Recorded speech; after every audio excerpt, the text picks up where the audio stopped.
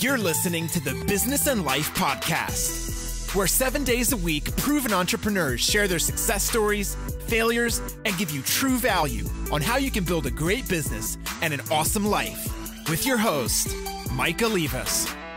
Business and Life. Today we're chatting with Jordan Goodman, who is known as America's Money Answers Man because he has been answering America's money questions about personal finance for over 40 years. His website is moneyanswers.com, and he is the host of the weekly Money Answers radio show on the Voice of America Business Network. He was the Wall Street correspondent at Money Magazine for 18 years and had written 13 books on financial topics, including the Barron's Dictionary of Finance and Investment Terms, Master Your Debt, Everyone's Money Book, and Fast Profits in Hard Times. He is a frequent guest on national and local TV and radio shows across the country, speaking on personal finance issues. Jordan, welcome to the show. Great to be with you, Mike. Absolutely. Thanks for the time. So tell our listeners something interesting about yourself and also maybe where you're calling in from today. I'm calling in from Elmsford, New York, which is in Westchester, just north of New York City. And uh, my story, well, I've been a kind of combination entrepreneur journalist for over 40 years. I could take you back to the very beginning, Mike, if you want to see my first entrepreneurial venture. What was your first was at age 12. Okay. I used to, at age 12, uh, my, my parents had a place in Hyannis, in Cape Cod, Massachusetts. And I used to write for the local newspaper, the Cape Cod Times. I did a column, this is at age 12, about youth baseball. I used to talk about the, the Dennis and the Yarmouth and the Falmouth leagues and all those kind of things. So I'd be hanging around the newsroom, and it, uh, then I'd started delivering the paper at the same time I was writing for. And then the, the ferries go over to Martha's Vineyard in Nantucket. That was right near where my house was. So I noticed in the printing area that there was tons of papers left over every day, tons. So I went up to the printer. I said, "What do you do with these?" He said, "We just throw them away." I said, "Would you mind if I take them?" He said, "Good. Much less work for us." So I'd take the papers. My cost of funds, my cost of goods was zero. I would bike them down to the uh, ferries and sell them as people were going on the ferries, and I'd go, you know, over the ferries. By the end of the time the ship would sail, like whatever, seventy-five percent of the people had had uh, bought papers because they're sitting around doing nothing, and everybody else has got papers, and you know, so and then Oh, I just wow. do the next boat. so I used to make $150 a day, you know, 25, 50 cents at a time, selling the papers that I wrote for. so Wow. that was the very first That's awesome. entrepreneurial slash journalistic venture. Yeah, I talk an about opportunity. My cost of goods was zero, yeah. and I just had a. and At the end of the day, my hands were filled with black ink, but it was. Oh yeah, I, was- I bet. I bet. Well, yeah. talk about the great timing of it. Like you're going to toss these anyways. Let me go. and let me go sell them. exactly. I love it. so tell us a little bit about uh, what Jordan Goodman does uh, for uh, in terms of moneyanswers.com. We can talk a little bit about that. What does it bring to the marketplace, Jordan? So uh, I became a journalist and uh, went to Columbia School of Journalism and quickly got into financial journalism, particularly personal finance journalism. Uh, and I started Money Magazine in 1979 and was there for 18 years and learned everything about the whole world of personal finance. And then I've always been kind of a slash journalist entrepreneur, trying to help people while being a, journalist at the same time. So I've done 13 books on different aspects of personal finance. Um, probably my best selling ever one is called The Dictionary of Finance and Investment Terms. It sold about three and a half million copies worldwide Wow. in 10 editions, just defining all the terms of finance and investment. I did one called um, uh, Fast Profits in Hard Times How to Profit Even When the Economy is Bad. I did one called Master Your Money Type about people's financial personalities. Uh, Master Your Debt about how people with debt. I did one about student loans called The Ultimate Guide to Student Loans. I won't go through all 13, Mike, but there's been a lot of them. Yeah. So these Well, are all of- things to try to help people. Jordan, out of all of those, whether it's highest seller or not, what was the favorite one that you wrote? I would say the dictionary. Okay. Of, it's a very difficult thing to do, but once it's done, it's like an annuity, and it helps. I mean, every uh, MBA class, every library around the world, um, tons and tons of individuals. Uh, broker training class. I mean, it's been used. The first edition was 1984, so it's had a major, major impact. Before that, there had not been a dictionary in the financial world since the, since the early 40s. You know, so it really played. And again, it's something I saw a need in the marketplace. Yeah. Uh, the publisher had a whole line of other dictionaries. They came to me while I was at Money Magazine. Hell of a lot of work, but yeah, you know, as far as impact, I think there can't anything beat. It's been translated into Korean, and Russian, and Chinese, and German, and everything else all over the world. So I think as far as impact, kind of hard to beat that one. Very cool. Well, that's great. Congratulations on all your successes on on on that book and obviously the other books that you've had. Jordan, tell me tell me a time where you felt that during your entrepreneur journey that you felt that you had to overcome a really big hurdle before you hit uh, either financial disaster or rock bottom in your terms. Sure, sure. Everybody's got those stories, and I've got got some for sure. Yes, Basically, it comes down to trusting people who shouldn't have been trusted. Is what it Sure. comes down to. So, in the mid 1990s, I was still at Money Magazine, and I used to do, you know, I do radio shows, TV shows all the time. I used to do a weekly radio show with a guy named Sonny Bloch, B L O C H, who himself had a uh, daily radio broadcast on 300 stations around the country, financial show. So I was one of his regulars. And Sonny and I got to know each other very well. He had previously done, in theory, seven books. He had not written a word of them, but he had other authors who he did it with. He put his name on it, they wrote it, and they sold tons and tons of, of copies. So he said to me, "Why don't you? Why don't we do a book together? Meaning I do all the work and he gets the credit, but you know, um, and about personal finance." And so we did. I wrote a book called Everyone's Money Book, which was 910 pages. Came out in 1992. Sold a ton of copies. The publisher was really was very comprehensive about all aspects of personal finance, basically. But it's all right. That was the deal. I wrote it. We put our pictures on it together, and it got out there, and it was doing really, really well. And then, out of the blue, the feds go after Sonny for all kinds of bad things. I mean, he, he was highly successful. He did not need to, need to do any of these things. But, for example, he, he wanted to buy some radio stations. So he said uh, on the air, invest in my radio stations. And the SEC went after him for unregistered uh, selling of securities without a license. But anyway, so he fled to the Dominican Republic. He Oh, divorced his wife of 25 years, married a Dominican printing baroness. Uh, her her father owned printing plants all around uh, Central and South America, uh, and you know they had this huge mansion on the top of this huge hill with this big pool overlooking the harbor, the whole thing. So he went there and he was broadcasting his show from the, the mansion in Dominican Republic, saying, "You can't get me. I'm here. Can't get me." Well, he didn't think there was a, there, an extradition treaty with Dominican Republic. It turns out there was an extradition treaty with Dominican Republic, and they went and got him. so, Oh wow. so he ended up in jail, literally in the in the, the tombs, as they call it, in New York City, and it was a big scandal. New York Post, you know, Sonny arrested in his you know bathing suit in Dominican Republic, the whole crazy thing. And so here I am out there with my name on a book, a very prominent book with Sonny. It's like he'd been Oh, fined right. for 10 years and then he blew up. It was stuck to Money magazine and it's like, um, this is not good. so, um, What did you? What So was it was a- learning it was- process there? You think, Jordan? How would you? How would you replay that? I mean, is that something? Do you feel that's something that you couldn't control, or now looking back at it, did you learn like maybe I should look more into partners? Um, because I'm, Well, that's I'm right. just thinking out, out loud here for the listeners and also for That's right. anybody that. Yeah, what are your thoughts on that? but I mean, again, this is somebody I dealt with for 10 years every week. Yeah, exactly. You don't know and something. he had a huge radio following, huge. I mean, he had Alan Greenspan, he had every top economist on that show, you know, wow, wow. and I was one of them. so, but then things started getting a little bit itchy. He, you know, he got greedy, is what it was about, yeah, and he did some other things that were a little bit kind of shady. And at that point, as a matter of fact, I remember we were going to shoot the cover picture for the book, and I started hearing about some of these things. I said, Sonny, you've got it all. You don't need this. Don't be greedy. Don't go over the edge. You don't need this. He's got this big brownstone in New York. He has a wife, two kids. The whole thing was like great. You got this radio network.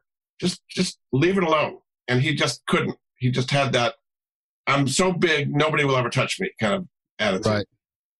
And I mean, at that point, it was really the book was about to come out. I mean, it was kind of far down the road to pull out, you know.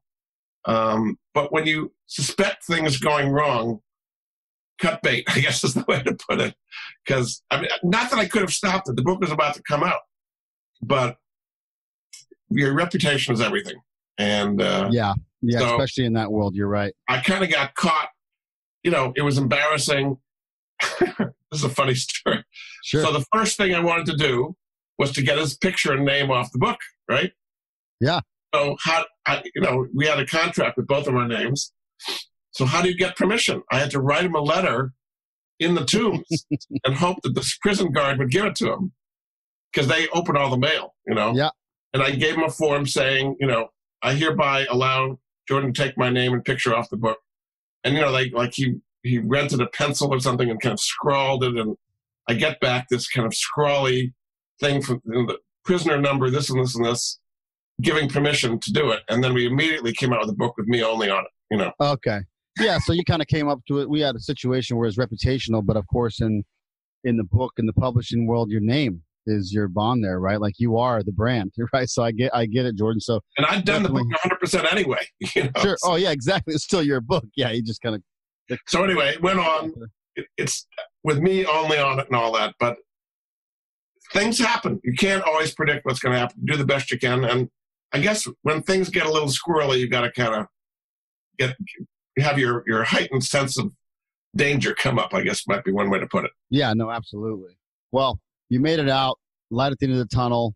Took some time, obviously, but didn't tarnish the name fully. You're obviously Right. here 13 books later. I want to ask a question, and I always try to kind of jump into people's specific realm, but also not just the finance world, but the book writing world. What if there's entrepreneurs out there? What kind of advice would you give an entrepreneur that feels like he's quite, you know, an expert at what he's doing to um, that's probably aspiring to write a book? What kind of advice would you give to a potential or a aspiring book writer? The purpose of writing a book for the vast majority of people is not to make money; it's to burnish your reputation and credibility. Yeah. Um, just the book world has shrunk so dramatically today. I mean, the vast majority of people buy their books on Amazon and don't go to bookstores. Yeah. So getting your book into a bookstore is no big deal today because there's hardly any bookstores to get it into. You know, Borders went out of existence. Barnes and Noble's on the ropes. Um, and frankly, I would not go to a existing publisher. the la- latest book I did, which is called The Ultimate Guide to Student Loans, there's a self-publishing division of Amazon called Kindle Direct Publishing, and you can have your book printed and distributed in about an hour. Literally, you give them the uh, the text, they will design the cover. It goes out as an ebook. They print it on demand. You don't have to fill up your warehouse or your garage with unsold books. They would order coming in over Amazon. They print it and ship it, and hit the credit cards. Done. Yep. So if you sell some books, great. But the main thing is to be able to show a book as I'm an expert in this field. Um, so if you have your heads on right, not think you're going to go in as a author and sell gazillions of copies and make lots of money, that's the reason you should do a book today. Are you struggling to grow your business? Have you ever thought, man, I wish Mike could answer my specific questions about my business? Well, you're in luck, and I can help.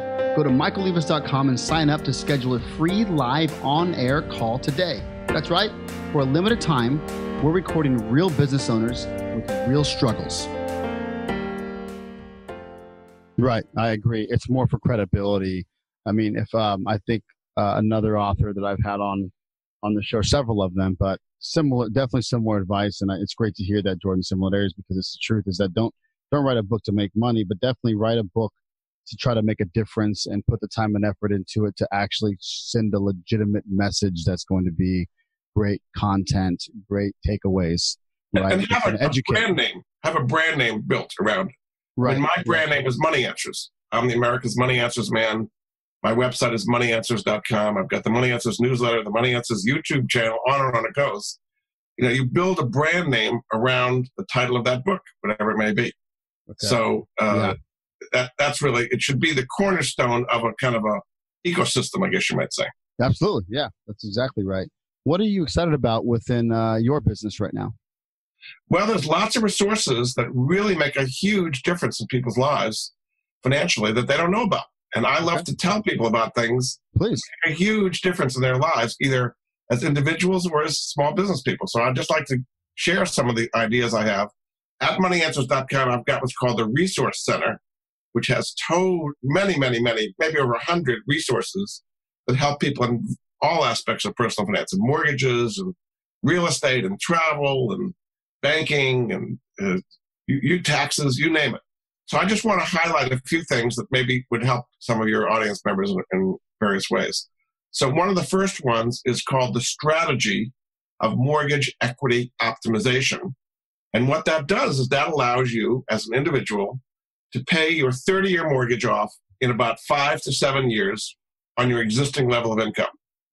You don't need more income. It's the way you flow it that makes a difference. So for the average person, I've just saved them tens of thousands of dollars in needless interest and 25 years or so off their mortgage. wow. And you'll never hear about this from a bank. Never. Okay. Because banks, then they, they lose. system right. works really, really well for them. Right, okay? right. They lose on the amortization. Right. So the existing bank thinks you're doing a great job by keeping your money in a checking account earning zero and paying them interest for 30 years with all the interest front end loaded, right? The first 10 to 15 years, you're making very, very little progress on the principal. And then even better, if you refinance the loan, you start a new 30 year clock all over again. So the bank thinks you're doing a great job. okay. You're doing a great job for them.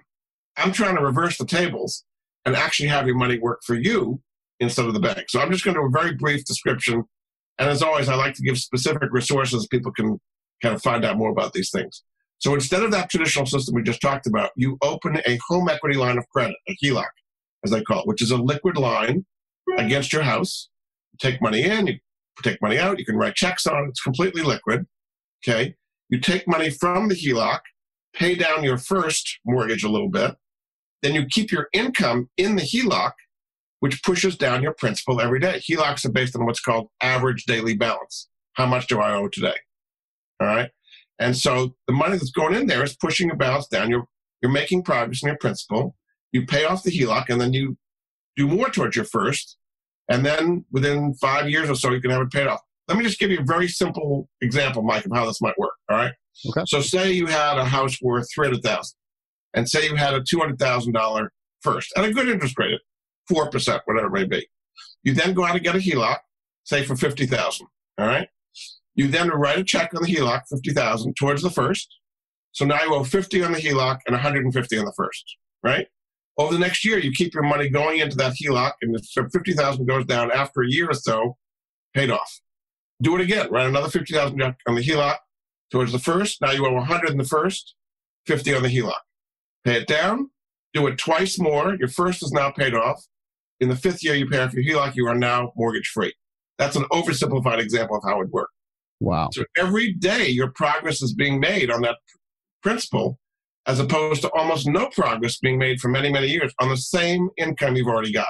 So your income essentially, let me try to get this right, is your, let's say you're, you're working a nine to five out there and you're listening to this um, and you're an aspiring entrepreneur I'm an entrepreneur and you're just, you know, obviously in your own business and you're, you take your income, you put it directly into the HELOC, that pays off that, um, that it pays it down. Balance. It, it brings it down, but you're able to still you're able to still cash flow your life with Correct. that. Now with you that pay your checks, you pay your bills out of the HELOC. Correct. That's exactly right. But every day that money is in the HELOC, it's pushing your balance down a little bit. You have a thousand dollar paycheck, and instead of keeping your checking account earning zero, you have it in the HELOC, pushing down your balance by a thousand dollars. It's the That's same true. money. It's working for you. It's like the reverse of the compound of interest. You're taking it away. Correct. Exactly. You're, you're, correct. Instead of not, the way I like to put it is instead of not earning interest on the checking account, you're not paying interest on the HELOC. Right, right. And I right? think a lot of people forget that, that they're looking at interest rates and interest rates. But if you're able to bring down the entire balance, you're paying less interest and bringing your entire principal down. That just sounds like a no brainer. In, a and compounding so, way. Yeah, in a compounding, way. correct. Yeah, the, like it's almost every month that sure goes by, right you're paying off more principal and because you owe less principal, you owe less interest. So it compounds and you're making more and more progress as opposed to the traditional system when you're making no progress for a long, long, long time. So there's a free website called truthinequity.com, truthinequity.com. And you, it's a free site. You go on there, it explains this in more detail. It has what's called a personal profile. And you put on, it's completely secure, your income, your expenses, your mortgage, your house, your taxes, all different things. And it's going to say, okay, based on the numbers you just gave us, it's going to take you 28 and a half years to pay off your mortgage. And with the numbers you just gave us using the system, it'll be 5.6 years to the, to the day. They'll tell you exactly when you're going to pay your mortgage off because they've got the algorithm to figure it out. And your life doesn't change. Correct. Well, just the way your money is flowing. Right. But correct. Your income is working for you. There are three things you need to make this work, Mike. The first thing, got to have equity in your house. Yep. If you're underwater in the house, there's nothing to borrow against. Right. Got to have a decent credit score, 680 or higher, to qualify for the HELOC. Third thing, positive cash flow. More money coming in than going out during the month. That positive cash flow is what's pushing that balance down. The more positive cash flow you have, the faster you pay off your mortgage. And I bet the vast majority of your listeners have that. Yep. And frankly, you can do this as a business as well. So, for example, you if you own a uh, own your office building or a factory or something, you can use the same technique to pay off your commercial real estate. Or say you have rental units, you could use the rent from the renters to have a HELOC and pay those rental units off and have them be free and clear 25 years faster than otherwise or something like that. So it has commercial applications as well as individual. I think it's awesome. That's a great value that I, I hope that all of our listeners will take a look and that, you know, at minimum, go to the website and see how this works. I think understanding that you're still going to have liquidity and writing a check if you need to. If the car Correct. breaks down, you still have this to go against. You're really just, again, utilizing the equity to bring down a principal and still being able to cash flow your, your monthly income. And frankly, uh, you awesome. for other debts too. Now, sure. you can then pile in student loans, car loans, credit cards, all kinds of other debt you can pay off in exactly the same way. It's not only a mortgage. Mortgage is the biggest debt, but ultimately you pay off all your debt using this technique. HELOC, that's where it's at. Correct. So anyway, that's that's number one. I like to do things you might not have heard about before that kind of surprise. So let's do another one now Please. for businesses, okay? Because um, I find a lot of businesses, small business particularly, have a huge amount of debt, but they don't know how to prioritize which creditor to pay first. So there's a strategy which is called debt prioritization, which allows you to pay the creditors with the most leverage over your business first. See, what most small businesses do is they're getting all these collecting letters and phone calls, and they pay the person that screams the loudest. okay. That is not what you want to do. You want to pay the one that could shut your business down tomorrow. Yeah. So this is what so there's a company called Corporate Turnaround, and they've got a website, helpwithpayables.com, and they've been doing this for 30 years. They have a very precise way of saying each creditor and what their what, what they call leverage ratio is, how much leverage they have over your business.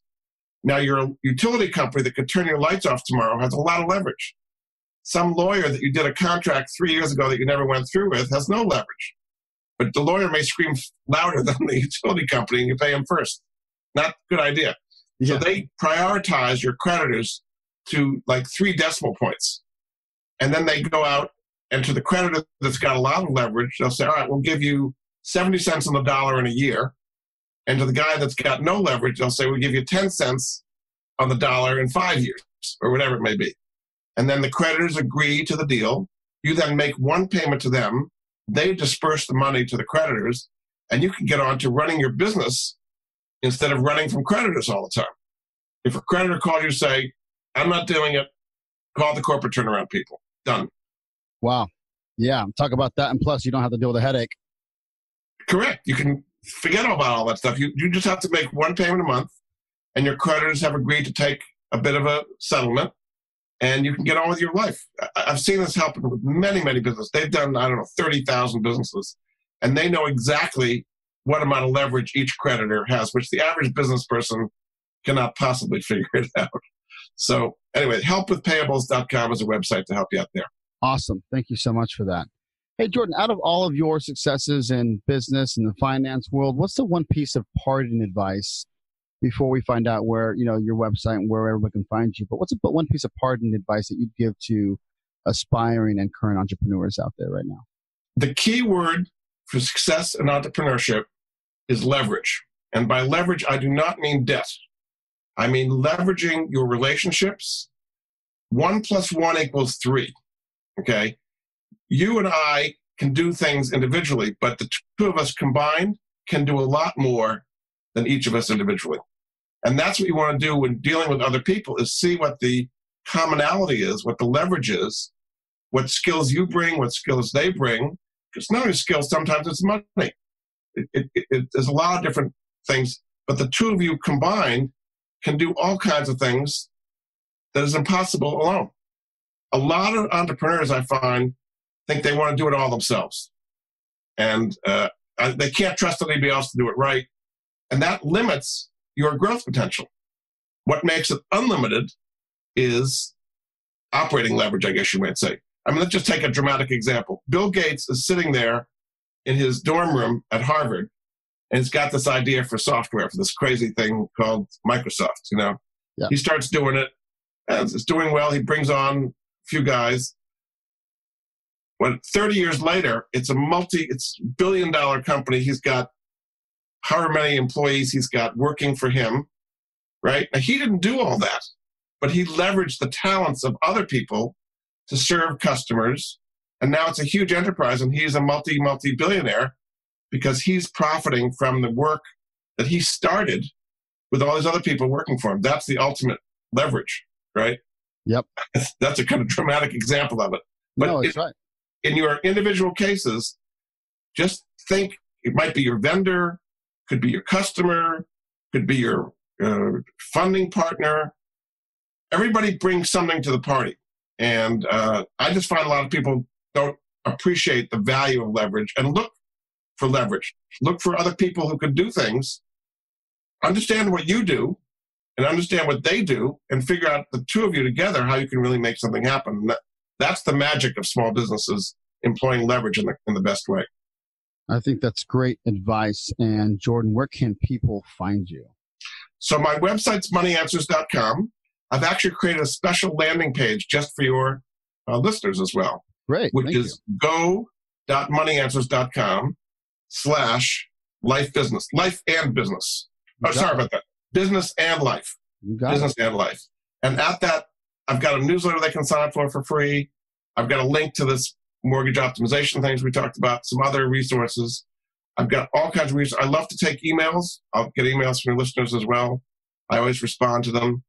Um, on my site, I've got videos, what I call the Money Answers Minute. I've got a newsletter. I've got a, a podcast I do every uh, week um, called the Money Answer Show. There's just a lot of resources that people. I'm just giving you two of hundreds of things yeah. can really make a difference in people's lives. Absolutely, guys. If you're listening, go to George's website. The, the holy value of what you just sent today. Thanks so much. I really appreciate your time and giving us and our listeners, even anybody that's just even a homeowner, we're going to share this to. Um, outside of all the people that are in the commercial world as well with their offices. But again, Jordan Goodman, thanks so much. Thanks so much, Mike. Really appreciate it. Appreciate it. Life Nation, you got to remember that in order for things to change, you must change. And in order for things to get better, you must get better. You just got better by hanging out with me, Michael Olivas, and the Business and Life Nation. So come back tomorrow because I'm here dropping sound bombs seven days a week, baby.